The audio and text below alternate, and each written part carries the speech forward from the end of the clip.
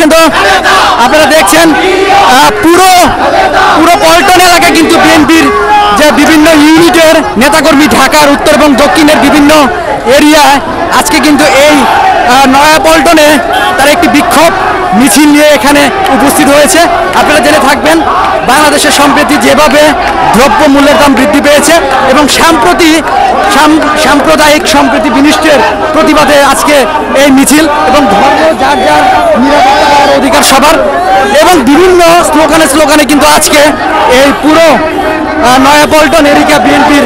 নেতৃস্থানীয় কেন্দ্রীয় বিভিন্ন নেতাকর্মীরা তারা কিন্তু জমায়েত হয়েছে এবং একটি প্রতিবাদ মিছিল নিয়ে কিছুক্ষণের মধ্যেই তারা প্রেস ক্লাবের দিকে যাচ্ছে। আজকে বিএনপির জন্য একটি সুখবর, কেননা তারা প্রায় এক যুগ ধরে স্বতঃস্ফূর্তভাবে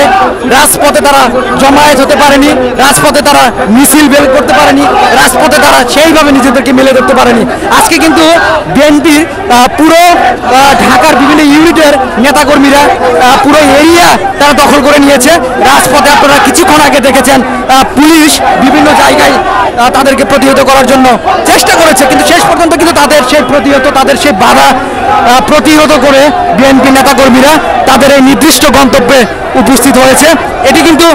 খুবই বিএনপির জন্য একটি সুখবর। অনেকদিন ধরে রাজপথ থেকে আহ, তারা বঞ্চিত আছে এবং তাদের এই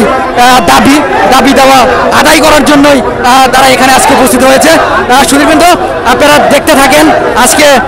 বিএনপি কিছুক্ষণের মধ্যে একটি প্রতিবাদ মিছিল নিয়ে তারা জাতীয় প্রেস ক্লাবের দিকে যাবে এবং